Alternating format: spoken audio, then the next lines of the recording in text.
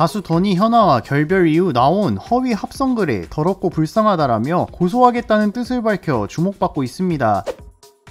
지난달 30일 현아는 자신의 인스타그램 계정에 헤어졌어요. 앞으로 좋은 친구이자 동료로 남기로 했어요. 라며 항상 응원해주시고 예쁘게 봐주셔서 감사합니다 라는 글을 올렸었죠. 이후 더는 해당 글에 좋아요 버튼을 누르며 결별 사실을 간접적으로 인정했습니다. 현아는 던과 지난 2016년부터 만나왔으며 2018년부터 교제 사실을 인정하고 6년 동안 열애를 이어왔던 만큼 네티즌들은 꽤나 충격이 크다는 반응이었는데요. 그런데 던이 돌연 고소 선언을 하고 나서 주목받고 있습니다. 앞서 한 유튜브에는 던이 작성한 것처럼 보이게 한 허위 합성글을 올려 현아 던 결별 사유 충격이라는 제목으로 영상을 올렸었는데요. 합성된 글에는 저에게 모든 과거를 속이고 숨겼습니다. 저와 연애 중에 다른 남자와 은밀하게 만남을 가졌고 아이의 존재도 숨겼습니다라며 고등학교 때 잠깐 동거했다고 하는데 그리고 낙태도 했다고 합니다. 너무 배신감이 드네요. 라는 등의 음모론 내용이 담겨 있었습니다. 이에 던은 1일 오후 자신의 인스타그램에 안녕하세요 던입니다. 길게 말 안 할게요. 해당 글 제가 쓴 게 아니고 허위 사실 유포한 저 비겁하고 더럽고 불쌍한 분 고소하겠다며 헤어졌어도 저한테는 똑같이 소중하고 제가 본 어떤 사람보다 진실되고 멋있는 사람이자 앞으로도 제가 제일 사랑하는 아티스트라고 남겼죠. 이어 제발 이렇게 살지 마시고 소중한 시간들을 좋은 곳에 쓰세요 라고 덧붙였는데요. 이에 대해 네티즌들은 선 넘는 저런 유튜버는 참교육 들어가자 와 진짜 강 심장인가? 저런 허위 사실을 유포하네. 나는 합성인 줄 모르고 진짠 줄 알았는데 합성이었구나. 라는 등의 반응을 보이고 있는데요. 던의 고소 소식에 대해 시청자 여러분은 어떻게 생각하시나요?